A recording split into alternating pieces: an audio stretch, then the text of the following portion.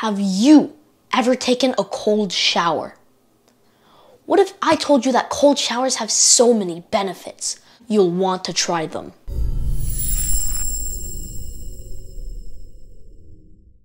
Hey guys, this is Aaron from Aaron Plays Fun Facts. Around the end of summer, remember, my family and I went to a beach that we'd go to pretty often, and the water was cold. I somehow had a gust of motivation to go in the water.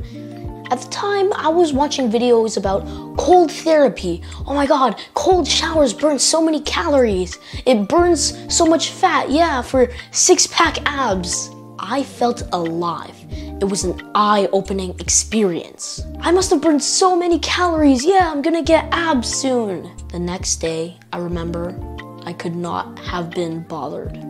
My muscles were so sore and I felt so tired. True, I pushed myself, but I used the wrong system. I never came back, not even attempted. Why would I? In the end, I didn't get abs, if you're wondering. I've been taking cold showers every day for a month now. Beyond all the physical benefits, there's one that stands out discipline. I hope that you take showers at least once every day. But even if you do, frequent hot showers can lead to dry, damaged, itchy skin, and sometimes even rashes. I definitely relate to this. Bro, I remember all the time I would just be scratching my legs for no reason. It'd be constantly itchy. I'm like, and then it'd be itchy and then red after I scratched it, and I was like, why is this happening to me? I took showers so hot, there was like steam coming out of the water, steam fog. At the end of the shower, the mirror would be dripping wet from the condensation. You could search up on Google cold shower vs hot shower, and there'll be a million sources spreading the exact same information.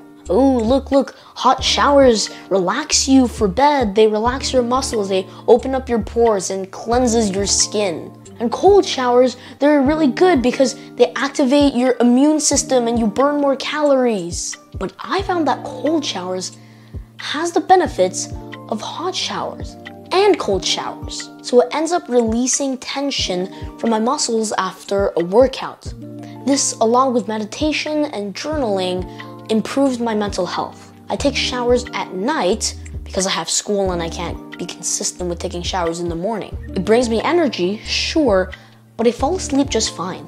Now, let me share in detail the one most valuable thing I got from cold showers.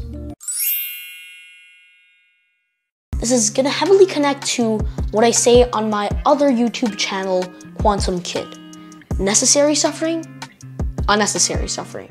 Necessary suffering is good like a sacrifice. Necessary suffering makes us stronger, while unnecessary suffering is unnecessary, like bullying. Cold showers are a form of necessary suffering. I think it relates to any path to success and teaches a great lesson. To go to the gym, to start a business, you have to get out of your comfort zone. If you can't stand two minutes of uncomfort in the shower, where the only downside of it is cold, how are you going to achieve greatness? Taking cold showers builds discipline. Like meditation, cold showers brings your mind back to your body. Challenge yourself.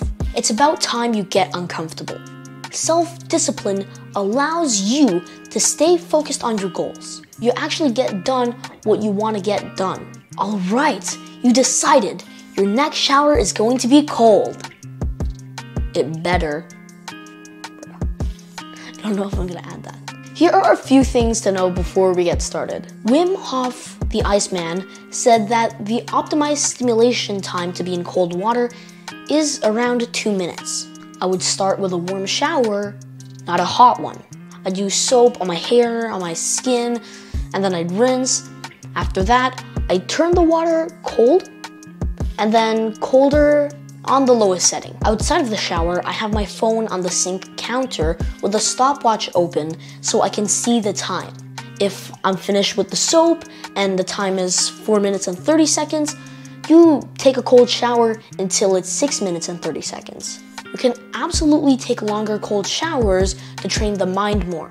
I'll keep it simple at around 2 minutes for convenience and also because I've progressed all the way down to the coldest setting in my shower. I definitely plan on taking it longer.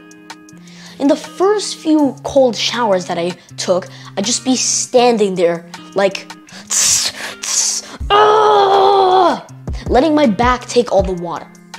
And to be fair, okay, it was the first week. You know, it was good. At least I took the showers and then chicken out. But when you actually get to a really good temperature, you'll move around. It'll be so cold, it'll feel hot. It's not completely painless, and it will feel like burning. Don't cheat it and have half of your body outside of the water. You're probably new to cold showers. How do you get started? Oh, you know, you're a beginner, you don't know what to do, right? Uh, you really, you really don't want to do it. Maybe you'll do it tomorrow. You don't know how to take a shower? Don't give in to your excuses. We've all had them. I've had them. Make it easy. See, we're trying to build a habit. As I've said a million times, we need to be consistent. So quantity over quality. Make it easy, progressively make it colder, colder, and colder after each session. Look, you're not gonna last until you get hypothermia. You're not gonna die. You're not gonna get hurt. Just do it. It won't hurt you. You'll just feel cold. Get out of your comfort zone and take the shower. Okay, I'm chill. Share this with friends and family. Don't keep the benefits of the cold shower just for yourself. Please like this video and subscribe if it helped you, as it's the best way to support me and this channel for free. I'm Aaron from Aaron Plays Fun Facts. Peace.